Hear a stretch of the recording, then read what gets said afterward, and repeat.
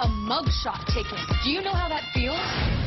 If only she knew. Next Monday, it's a totally 80s flashback. Oh, Lily? What are you doing in L.A.? You got kicked out of boarding school. You're in jail? Hey, Vander, what's it? I'm Lily Rhodes, and that's my sister. No one treats us this way. Was this the one where you fall in love with me? Gossip Girl. All new next Monday at 8, 7 central on the CW. Catch it.